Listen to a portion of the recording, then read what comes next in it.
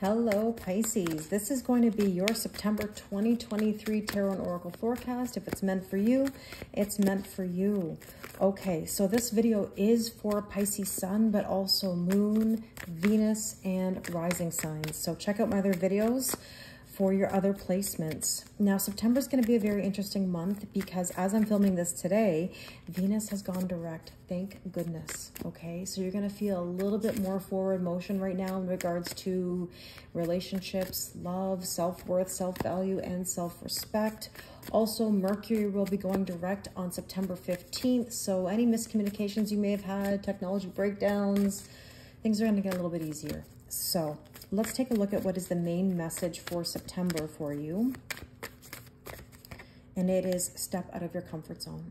It's time to do different. You've been holding on to the past for far too long. It's time to make a move, okay? Now, let's take a look with the tarot here to see what else you need to know. Yeah, you got to shoot your shot. You got to clearly decide what you want. You got to communicate. You can't be afraid anymore, okay? So let's see what else you need to know. Queen of Coins. So stability and finances might be really important to you right now, and so it should. The Empress says you're birthing a whole new cycle. Look at all this Venus energy, right? Self-worth, self-value, self-respect. That is Taurus and Libra energy. Obviously, you might have other placements in those signs. Doesn't have to be, but it's just embodying that energy, right? It's about doing what you're passionate about, being creative, believing in yourself. She's the Queen of Queens. Now, the Three of Coins does say an upgrade to a current situation. So there is some good luck here. Someone or something may come in and give you an upgrade. And the Knight of Coins is reminding you to trust the process. That's all you can do, okay? But you got to make moves at the same time. It doesn't mean waiting for things to come to you. And the Seven of Cups says you got to make a decision. Not making a decision is making a decision. And I feel like you've been holding yourself back out of fear. You know, I always look at this card and think about a Roomba vacuum. What does a Roomba vacuum do? It spins around the room, and when it hits a wall, it redirects itself. This is what you need to do. Choose the cup. Any one of these cups is going to be fine, but you got to make a move and find out whether it was the right one or if you need to redirect yourself.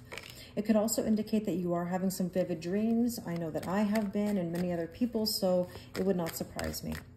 Now with that, we have the Four of Cups. You've been missing out on opportunities, okay? You've been in your head, you've been over-analyzing and not taking the risks that you need to or making the moves that you need to. See, Four of Coins, holding back, all or nothing, streams of giving time, love, or money. You're in fear. And 44 could be uh, an angel number that you're seeing, but it basically is telling you you're divinely guided. You don't have to worry so much. And with that, we have the Six of Wands. You are going to be victorious, but you got to make a move. Now, let's get an oracle card for each one here just to see what else we need to know. Let's go back to the Eight of Wands, that's shooting your shot. And yeah, on a quest. You want to know where you're going? Shoot your shot. You don't even have to know the destination per se. Just put something out there and see where it lands. Now, Queen of Coins, the stability. Okay, you've got to look out for yourself. You may be worried about, you know, deception or being fooled by something, but really you're just fooling yourself if you're not taking the risk or making the move.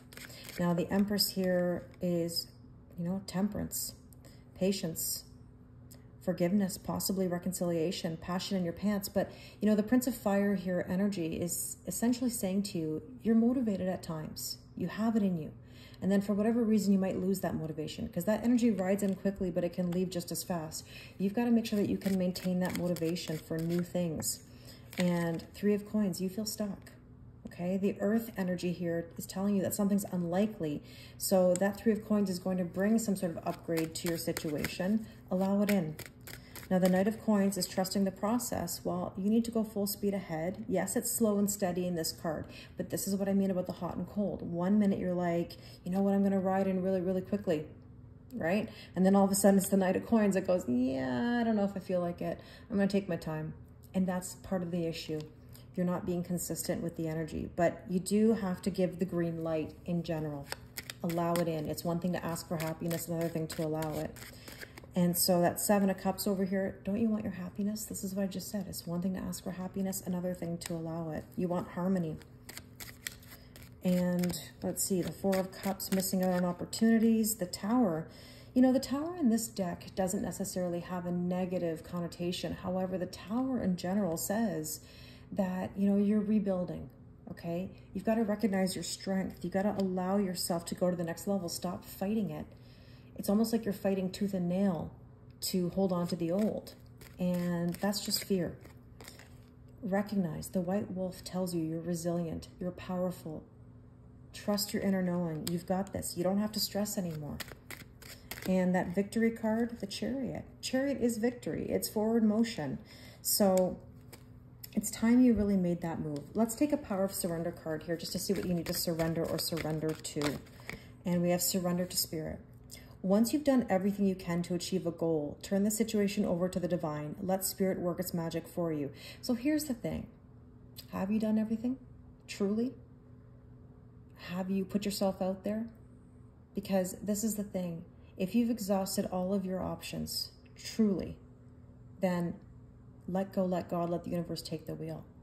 But I have a feeling there's been some holding back here. So now's the time to make a move. I really hope this resonates with you. Um, you know, please let me know in the comments. Also, please check out my other videos for your other placements. Thank you so much for your kindness and support, and I wish you the most amazing 2023.